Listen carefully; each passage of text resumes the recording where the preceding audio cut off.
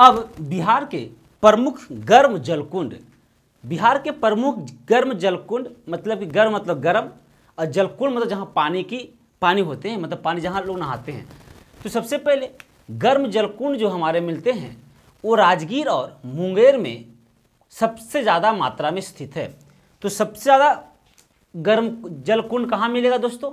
तो याद रखना, राजगीर में, मुंगेर में स्थित है, सबसे ज़्यादा वहीं पे मिलते हैं। जहाँ लोग स्नान करने जाते हैं वगैरह, घूमने फिरने में। इसके अलावा भी गया और नवादा में भी गर्म जलकुंड देखने को मिलता है। लेकिन अधिकांशतः अगर पूछेगा कि ज़्यादा मात्रा में कहाँ मिलेगा तो राजगीर में मिलेगा और आपका मुंगेर में मिलेगा।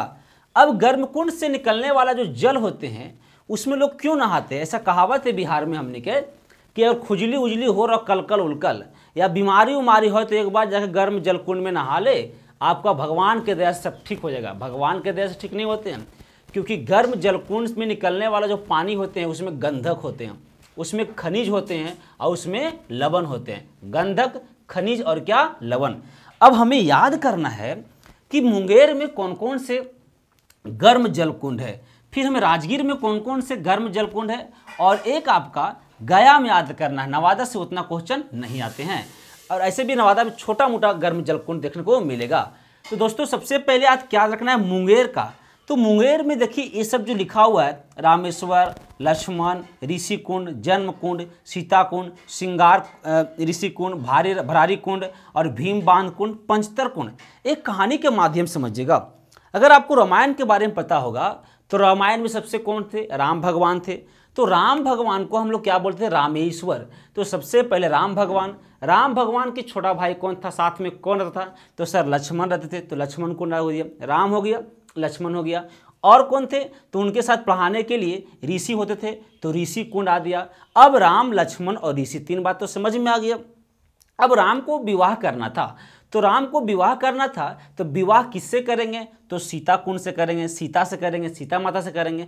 लेकिन विवाह करने से पहले दोनों को जन्म कुंडली देखा जाता है कि मैच कर रहा है कि नहीं। तो जन्म कुंड हो गया। तो कितनी बात याद रखें? रामेश्वर मतलब राम कुंड, लक्ष्मण कुंड, ऋषि कुंड, जन्म कुंड और सीता कुंड। तो विवाह किससे हो गया? सीता से, सीता कुंड याद रखना है।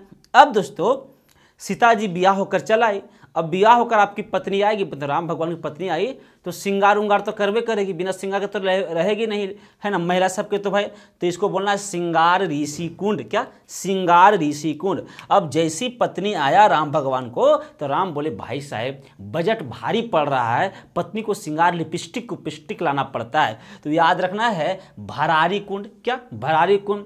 यह चीज़ को देखते हुए राम भगवान क्या कर रहे थे? एक बाँध पर जाकर सोच रहे थे कि अब कैसे पैसा कमाना है इतना इतना। इस, इस सबसे लॉजिक है ये कुछ राम भगवान से कुछ सोच नहीं रहे थे।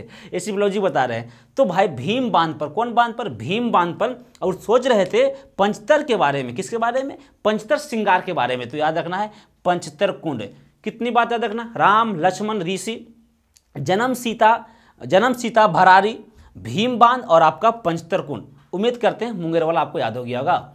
अब आते हैं राजगीर में। एक बात और है मुंगेर में मुंगेर का सबसे गर्म कुंड कौन सा है? दोस्तों, आपको पता होगा, राम और लक्ष्मण में सबसे ज़्यादा गर्म दिमाग के कौन थे? तुरंत एकदम भगवा जाता मार देंगे, यह करेंगे, वह करेंगे। तो सबसे ज़्यादा भगवा जाते थे आपका लक्ष्मण जी।